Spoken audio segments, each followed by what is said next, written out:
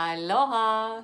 Oloa Keia Avelina Mai i YouTube channel Ke Aloha no Hawaii.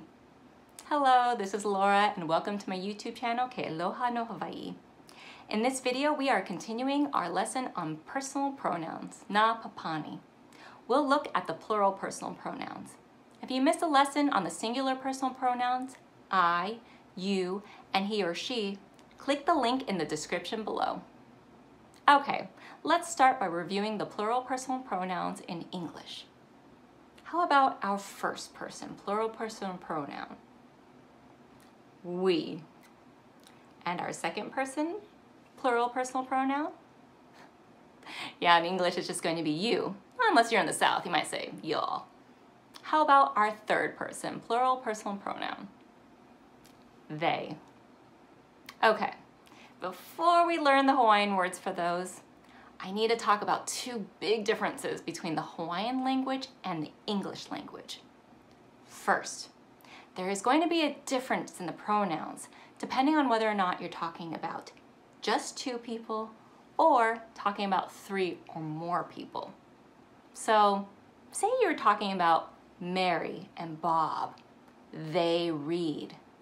That word for they in Hawaiian is going to be different than if you were talking about Mary, Bob, and John. They read.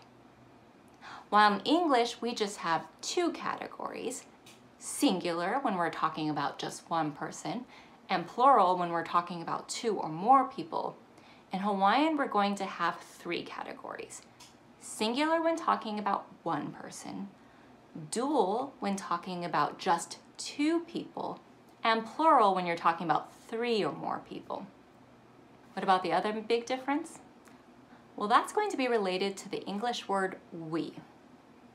Say you were talking to your friend Mary, and you said, hey Mary, we go to the beach. Who does we include? Well, we is going to include the speaker, right?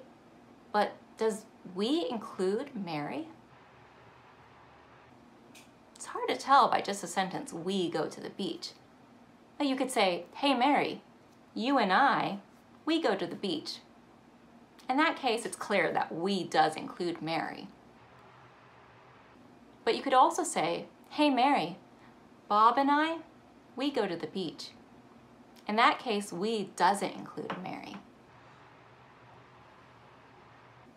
Well, in Hawaiian, it's a lot more clear because there's a different word for we, whether or not it includes the person we're speaking to.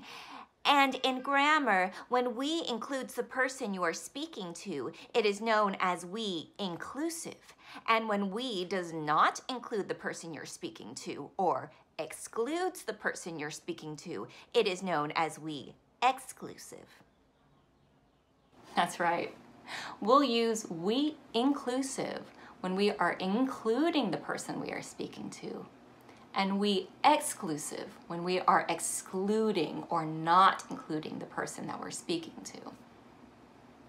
Okay, I'm glad we took the time to talk about those big differences because while in English we just have three plural personal pronouns, we, you or you all, and they, in Hawaiian we're gonna have eight. Now, let's learn these personal pronouns. We'll start with our dual personal pronouns. So just talking about two people. How about we inclusive, you and I? Kaua, kaua. We exclusive, so me and another person, but not you. Maua, maua. You too. Olua, olua. And they or those two. Laua, laua. Did you notice a pattern there? That's right. We inclusive we exclusive, and they all look very similar. They just have a different first letter. Kaua, Maua, Laua. And of course, you, Olua, is just its own thing. Okay, now let's review the plural personal pronouns. Remember, this is going to be three or more people. Let's start again with we inclusive. So it includes the person we're speaking to. Kakou, kakou. And can you guess what we exclusive is? Makou, makou. That's right, same pattern as the dual personal pronouns. So let's skip to they. Yep, lakou, lakou. And we'll go back to you or you all. Oukou, oukou. And did you note that Olua and Oukou both start with the Okina? Keep that in mind when forming full sentences. Whew. Let's review those one more time. And let's look at them in a chart. We'll start once again with our dual pronouns. We inclusive, kaua, kaua. We exclusive, maua, maua. Let's skip to they, laua, laua. And how about going back to you? Olua, olua.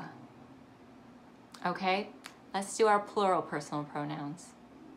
We inclusive, kakou, kakou.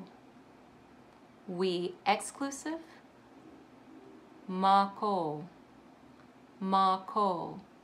And again, let's skip to they.